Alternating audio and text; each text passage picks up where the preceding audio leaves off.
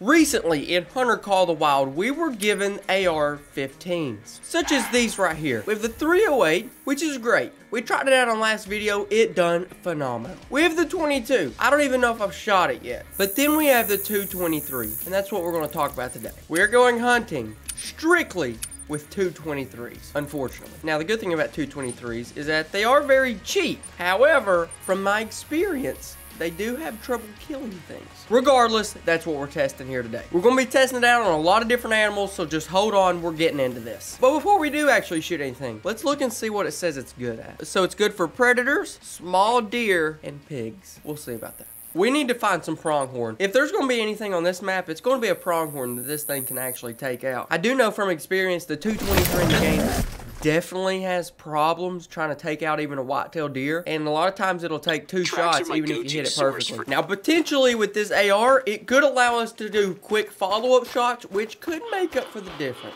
All right, there's a pronghorn. That's exactly what we're looking for. We're just going to get a little bit closer, though. We don't want to take too far shots at the 223, even though the 223 is more than capable of reaching it. By the time it gets that far away, it's lost a lot of its speed. And speed is directly correlated to knockdown power. All right, they're about 200 200 yards away. It shouldn't be a problem. Let me go ahead and pull it out, and I'll try to go for a heart shot. I do know that if I can get a heart shot, I should be in good shape. Probably should even be able to knock it down as is. Nah, I ain't doing that. They're going the wrong way. All right, guys, we've spotted some more pronghorn, and it looks like they're actually coming our way, so that's pretty good. They're coming right towards us. They're going to come right in front of us. That's pretty important, guys. They're going to give us a close shot. That way, there's no room for error. I'm going to take that one right there as soon as he gets broadside. Should be about 100 yards. It should be pretty easy. As soon as he slows down enough to where I can make a shot, I'm going to take it. He's not slowing down at all, is he? All right, that should do it right there. Let's see, I can see him. I can see him. I'm just, we're just to watch him, guys. We're to watch him until he goes down, if he goes down. All right, put another shot on him. Let's see what we can do here.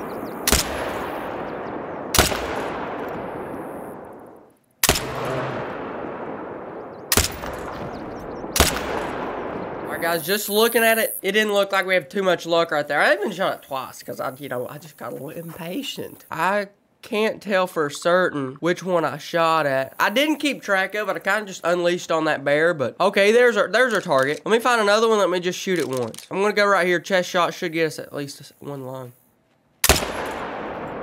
All right, that should be at least a long shot. We are going to only shoot this one twice. We're really going to keep up with it. So we're just going to track it as far as I can track it. And we're just going to see what happens. We'll go up and analyze the shot later. But I'm just saying, guys, for uh, for any kind of deer-sized game, even a small deer, I don't think 223 is the move. And I'm talking even in real life, too. Especially in real life. I just don't think 223 is the move. Like, yeah, you can kill a deer with a 223. I've done it before in real life, but it was really hard to find. Now, I did accidentally shoot it with FMJs, but regardless, 223s just have trouble delivering enough destructive power to a deer, especially at range. If you're 20 yards from it, probably do better than if you're 150. At 150, the bullets, man, the bullet's only that big. It just, it has a hard time doing stuff. I shot this thing right in the chest and it's not went down yet. And this is a video game. Keep that in mind. This is a video game. Usually you shoot them here, they go straight down. I don't even know what to do, guys. Like, is it safe to say she's not going down? Should I shoot her again or what? Should I just wait? All right, there's a second shot. On target, everything looked good. How much further can she go? I'm just going to have to keep putting them on her. That's the only way we're going to get her down. Keep putting them on her. I just hit her with four shots and she ain't down yet. That's not good. This is not a deer caliber. That's not a secret to anybody. 223's not the move for deer. And if it is to be the move, you better get a really good hunting bullet. One that goes in and really explodes. So here's the first pronghorn. I shot it twice. Well, you know, I'll be honest. That first shot didn't necessarily help its odds, okay? Maybe I need to try again. There goes one, there goes one, there goes one. Should have been a good shot. Let's just see where it goes. Is that a dead bison?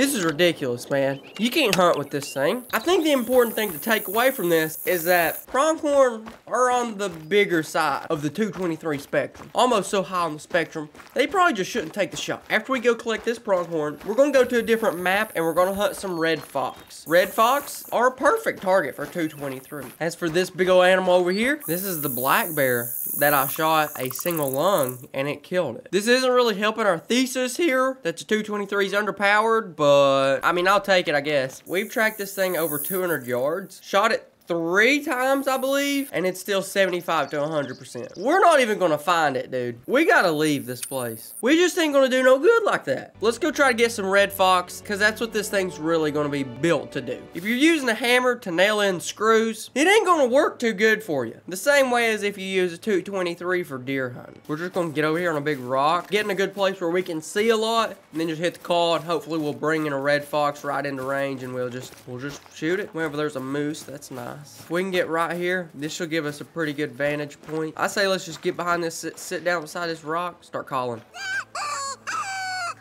Now we gotta watch, because uh, they'll come from anywhere. We're gonna call and scan. We're gonna do that until eventually we got a red fox that's really close to us. All right, guys, I had a little trouble finding some red fox, but uh, how about we go for something a little bigger? How about a gray wolf? Now, I'm just saying, guys, I could get myself into a lot of trouble. Now, these are bigger than Red Fox, and we do have to understand that. Regardless, I feel like a 223 might be enough to take out a wolf. I may be wrong, but we're about to find out. We're still gonna go after a fox or a coyote something in this video, but for now, our target has shifted to the wolf.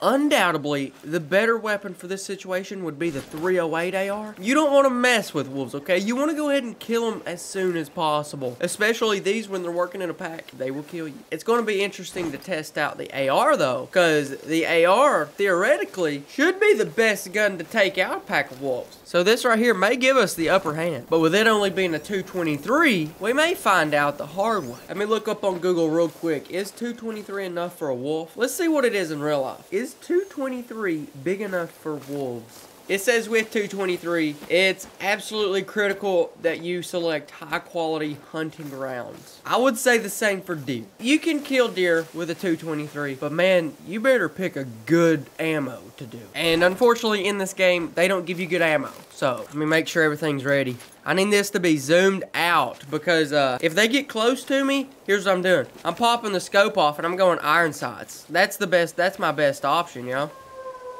Dude, we're getting really close. We're getting into some dangerous territory. There's a fox right there, buddy. Alright, so he shouldn't have went far. He toppled over. The wolves are running. The wolves are running. Missed that, didn't I? Ah, man, the wolves ran. Dang it, dude. Dang it. Well, I mean, we got to take out a red fox. That's what we were after anyhow. I still may track down those wolves and see what I can do about them. But regardless, red fox, especially this close range, 223 at this kind of range just literally shreds anything. But once it gets the distance, it's really only good for uh, smaller animals. Perfect heart shot. Honestly, pretty perfect. I don't think there was any way that fox was getting out of that. Now let me try to get one of those dang wolves. I may get lucky and be able to sneak up on these wolves or something. Or at least get close enough to tag one with a shot. They seem like they headed out pretty far. All right, boys. I spent the last 10 minutes looking for wolves, but I think they were looking for me too. They just threw out a warning call to me, and uh, they're nervous. I'm gonna go ahead and take the shot, guys. I don't want them to run away this time. I gotta be careful. Oh my goodness, there's a ton over there. If they decide to come over here, that could be bad news, man. I'm gonna stay right here and just keep picking them off the best I can. I'll go over there and look for bodies later, but for now, I'm gonna just try to take them out because they don't seem like they're moving that much, which is good. That was a gut shot, but I mean, hey, I'll take it. I don't know if the game's glitching or what, but these animals are just sitting still. They're like not running away. They're just staying in the same spot, which is pretty good for making a lot of money and killing a lot of animals, I suppose. But man, dude, we're going to find out real quick what the 223 can do. I'm curious to see how many of these are actually going to die because I've not seen any actually topple over, but I put a lot of shots into quite a bit of them. This may be the real deal. If I had to throw away, I could just wipe out a whole pack right here. As long as they don't start charging me, I'll be all right. Look at that one's got his head down. They may be heading out now. That one's getting awfully close. So like I'm having a hard time killing these or something. I mean, I'm not really understanding what's going on because I've shot a literal ton of these. You watched all the shots right there. I've not seen a single one go down. Now, maybe I'll walk over here and I'll start finding bodies. I don't know, but like, yeah, I mean, you can see it put a lot of circles on it, but not a lot of circles, honestly. At the rate I was shooting them, I should have killed about 10 to 15 because I should have put kill shots on a ton of them and I just don't know how many I actually killed so we're over here at the at the massacre location I'm seeing one body so that's a good sign it took one shot killed him. I don't know how long it took him to die, but I ain't been able to find another one. I found that one, but that's it. I ain't found another one. It's like this thing don't kill the wolf. It's like it just hits them. I can see down there's another wolf, so that's a good thing. I'm not kidding. I probably shot 10 to 15 of them with what should be kill shots, and I don't know if it's going to kill them or not. There's another one dead. Okay, there we go. That's what we're talking about. It might kill him. It's oh. just taking time. And I mean, you can think about it. A 22 can kill anything. It might take it a long time for it to finally die. And if it takes forever to kill it, ah, that ain't really killing it, is it?